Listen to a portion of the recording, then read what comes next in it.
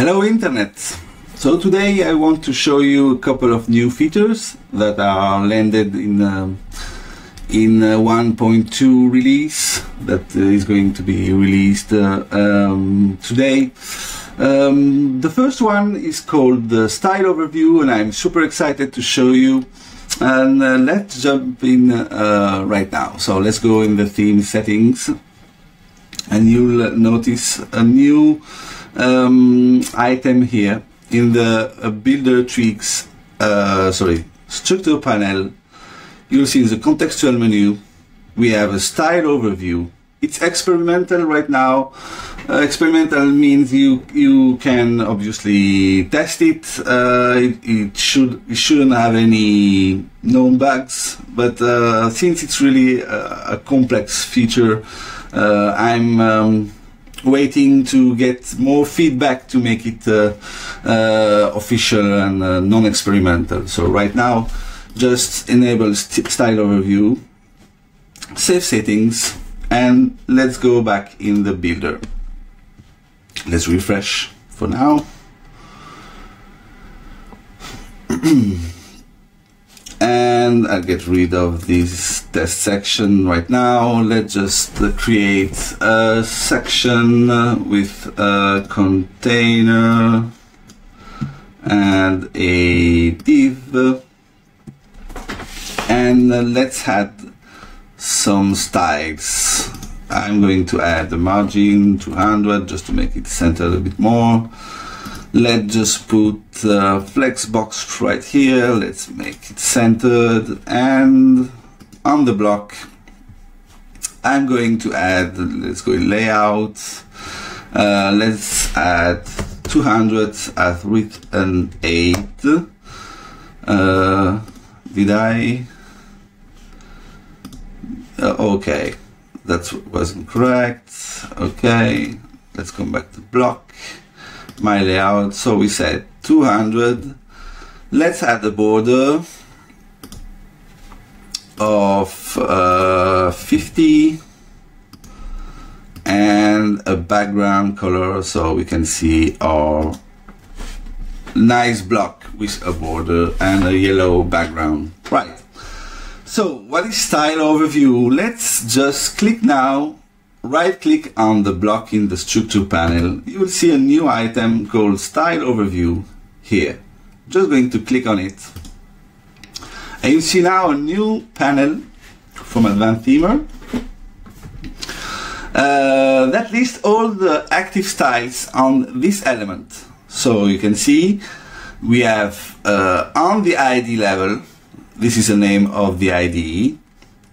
If I click on it, we are back to our block, our ID. Okay, just going to reopen it again. We have a background with, with our variable, the borders, the 8 and the width. On the desktop, right? And we have all the values on the break, uh, each breakpoint. So for now I have no breakpoints here but let's let's decide to um, change some value. We can do that with, with um, the style overview. So I'm going to change 200 with, with uh, 100. And let's see now the um, uh, the circle the circle is is uh, smaller but we want to see where, where it has been applied. I can just over on the property, each property here. Let's click on 8. And you see the panel will automatically open where the values have been uh, modified. Super neat. Um, and of course, it, uh, it also supports all your pseudo uh, values. So Mm, let's say I wanted another color um, or another radius. Let's say radius. Let's just uh, activate the overstate. Let's go and border radius. And let's say I want uh, 20. Okay.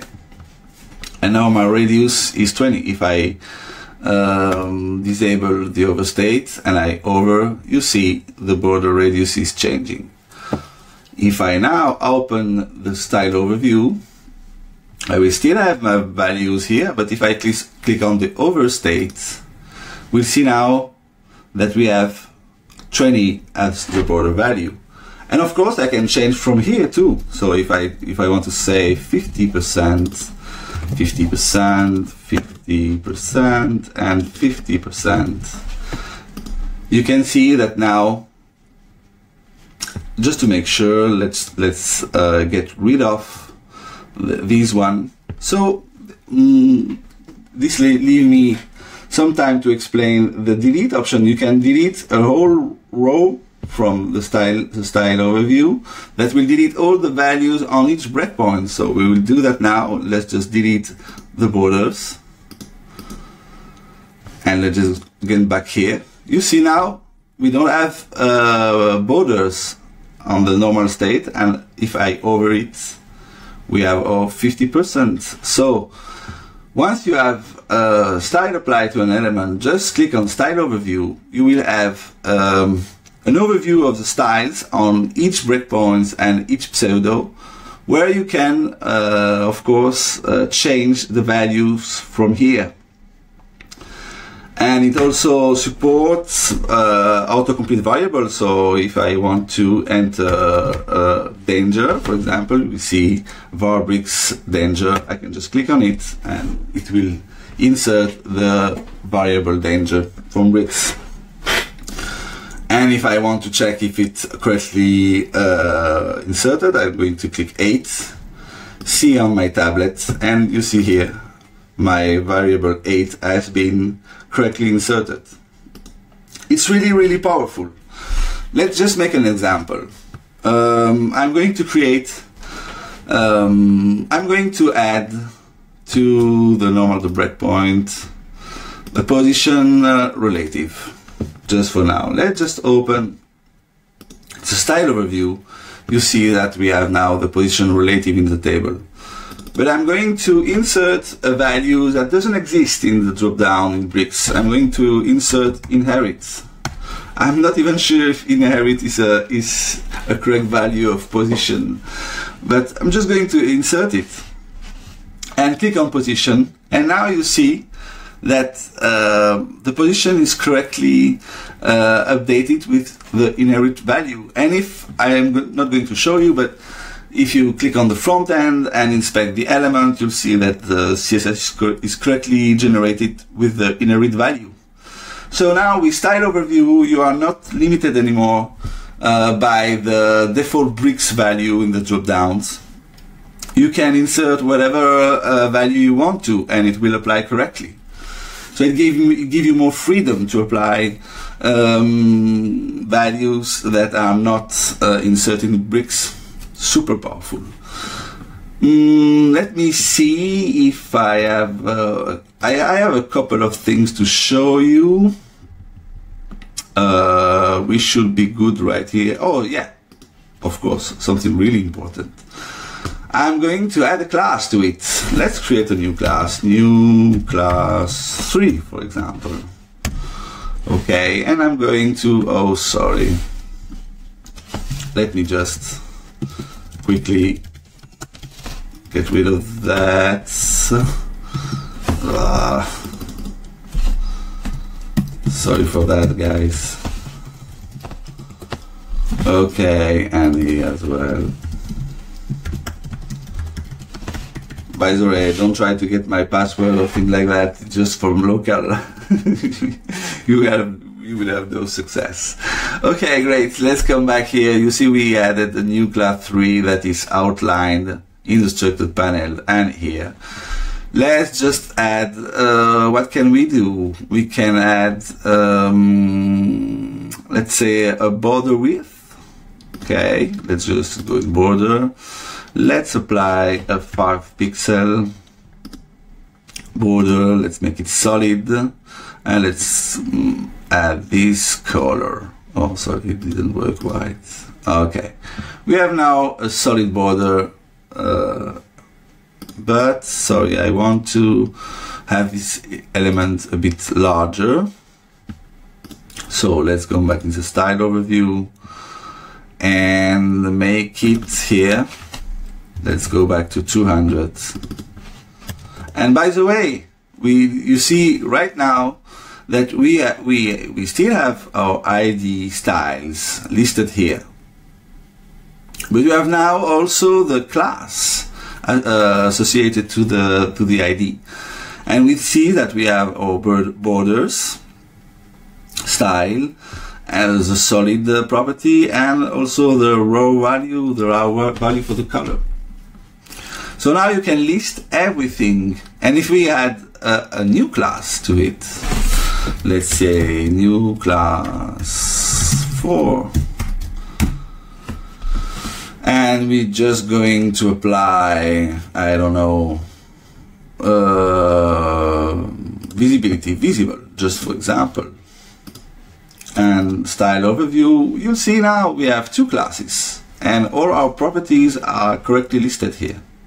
And of course it will list on the breakpoints and the pseudo for the class as well. You can filter them. So let's say we want to check uh, where are my borders. Just going to list border and you see all our classes here. Um, all our borders are listed in the new class 3 and I can change it from there.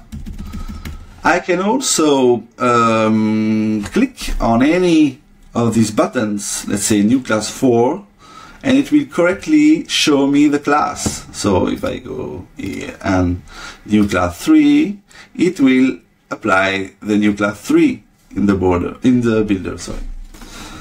So super quick um, workflow. If I click on visibility here, it will open the new class 4 and the correct panel where visi visibility is uh, enabled. So it works also as a shortcut. It's an overview, you can use it to change the values, you can uh, use it to quickly access where are your, your values inserted. And um, if we click um, on these uh, buttons, new class. So now the, the screen is uh, too small. So I'm going to just add more values, casual values. I'm going to make zero, zero, zero, zero, zero. Let's continue. Zero, zero, zero, zero. And if I open now, uh, you'll see all the zero values. Just to, to show you that if I click on new class uh, 4, it will jump on the new class 4 and new class 3, it will make the new class 3 on the top. So if you have a lot of um, classes inserted, you can easily navigate through them. And if I make uh, some classes um, locked, shell locked, I'm going to lock this class. And if I open the style overview, I will see also the um, uh, indicator that this class is locked. And you see, when you have a lock class, we can't access to these value anymore. So you, you are not supposed to change these values. So you can't click and you can't change and you can't modify these class. You will have to go back to the new class and unlock it. And if I unlock it again, open style overview, you can change again your values. Okay, um, last thing I want to show you in the style overview uh, feature, if we go back to the, to the uh, theme settings and we, we, we, are going to open the class and styles um, tweaks and enable the lock styles on element ID level feature. Let's save it let's save what we done now and refresh. Okay, now mm, the ID should be uh, locked. It isn't. Let me see why it didn't work. Mm -hmm. Maybe I didn't update it correctly. Okay, let's refresh.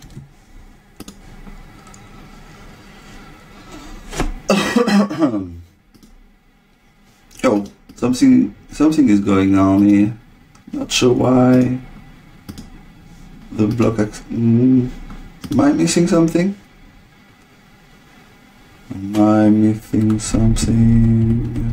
Hmm. Why it's not working? It is strange. This should be locked. Oh no, sorry, I unlocked it. Let's be safe. Just the morning, guys. please, please bear with me. Let's refresh. Okay, and if I click block, it's now correctly locked. Great. okay, uh, just I wanted to show you that um, if you don't know this feature already, this means that you can't access the style uh, unless you click on this lock icon. And now the styles on the ID level are available. Okay. And I just wanted to show you that um, it also it's um, integrated with the style overview. So if you open now the style overview, you'll see that a little a lock icon here is uh, visible and you can't modify your styles. But if if you click on it, now again you are aware that you are modifying values on the ID on the ID level and you can modify just like before. Okay, I think it's a really, really great feature. It will um, spare you a lot of time building and see where are the values. You don't have to uh, get crazy anymore to see uh, where is the value applied and, uh, and what is going on on each uh, breakpoints. Super easy to uh, have a clear understanding of what's going on on your elements. Okay, let's finish this one for now and let's uh, come back to the theme settings. I want to show you the second feature that is shipped uh, within 1.2. Let's go in elements and now you'll see a new option superpower the custom CSS control. Let's activate it and save and refresh the builder again. And click on any element let's go into the block and unlock the ID styles for now. Open the CSS tab and now this control the custom CSS control is uh, superpowered with a lot of new features. Let's see them in action I'm going to create a class. So I'm going to create class and I just click one bracket and you see it automatically closed it. So you don't, this should help you to avoid open bracket that will break your CSS. So automatically you will have your brackets closed. And you see also a, a little underline the brackets. That means if you have a lot of styles and just um, click just near the bracket, you will see which bracket it corresponds. Easy when you have a lot of style and it could mess up um, where where are the closing brackets. Here is a little indicator. Uh, let's just come back here and if I click enter, if I type enter on my keyboard, you will see that it will automatically indent the, the, the next line super easy, super cool because in uh, in um, in bricks, in core bricks, if you go on on a new line, you will just go here, which is pretty ugly, and you have to manually click uh, the space uh, uh key, which is really annoying. Just clicking enter, and it will be indent as you expect it. Let's add a property. So let's make color. And you'll see now drop down suggestion with all the CSS property that you can easily um, go up and down and choose which uh, which CSS value you want to add. Let's just let's just add column for now. Enter and it's done. No no tab or just the enter key to uh, autocomplete your property. And now I want to add a variable. I'm just going to use the, the previous word, the danger. Just going to write danger, and boom, we have the auto suggestion for the CSS variables. I'm going to select the one that I want, this one, enter, and boom, it's done. This superpower will make your CSS super, super faster than, than the one used by Bricks. And you see the colors are really uh, straightforward and uh, the, the property suggestion are correct and, uh, and uh, the autocomplete is great. So this would make your workflow, if you are working with CSS, a lot more better, a lot better than, uh, than before. Okay, this uh, this video is already 20 minutes. I'm going to stop here and see you the next time, guys. Bye bye.